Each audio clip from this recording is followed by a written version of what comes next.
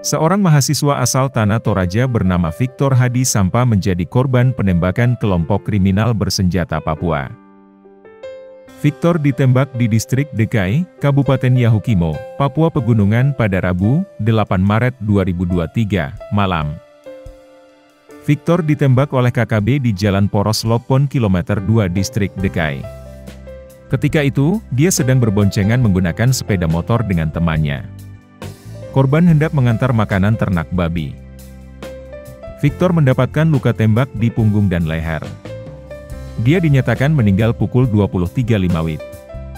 Teman Victor pun juga meninggal karena luka tembakan di bagian punggung.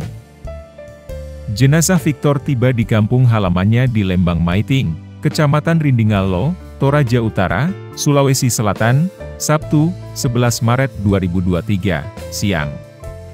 Keluarga menyambut kedatangan jenazah dengan isak tangis. Salah satu keluarga Victor, Peter Indu mengatakan Victor adalah sosok yang mandiri. Dia merantau ke Yahukimo untuk berkuliah dan bekerja.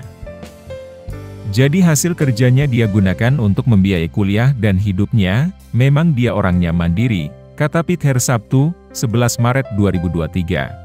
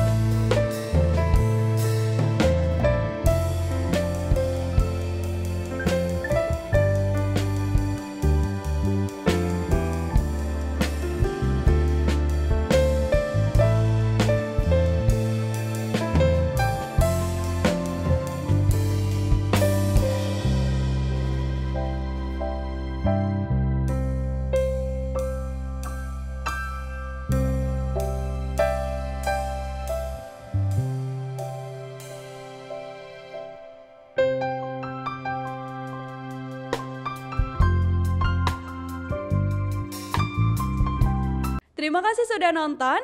Jangan lupa like, subscribe, dan share ya.